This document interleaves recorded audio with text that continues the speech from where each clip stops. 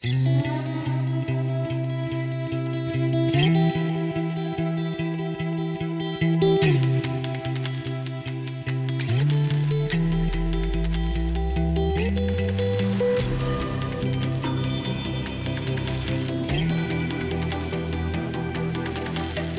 years ago, we decided to build floating PV plants uh, because solar energy is a major component of the transition of the energy system in Germany.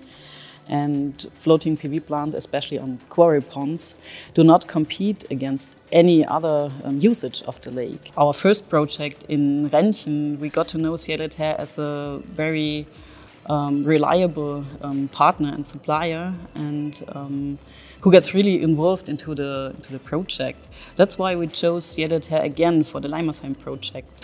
Um, here in Leimersheim, we use the four in a row uh, system from Ciel & Terre. That means that only every four rows of um, PV modules, there's a, um, a maintenance walkway. Nevertheless, you can still walk stable and comfortable on all the walkways, and you can reach all relevant parts of the plant without getting wet feet. I am absolutely satisfied because at any time a staff member from Ciel & Terre was available and everybody responded very quickly.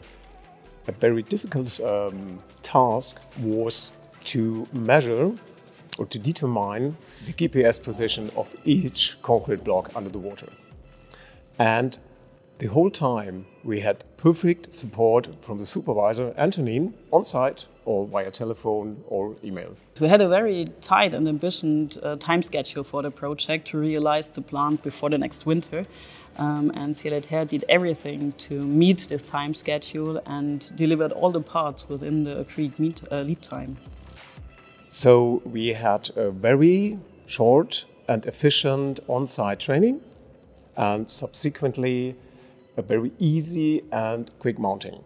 We had been faster with the mounting than our expectations when we started the construction.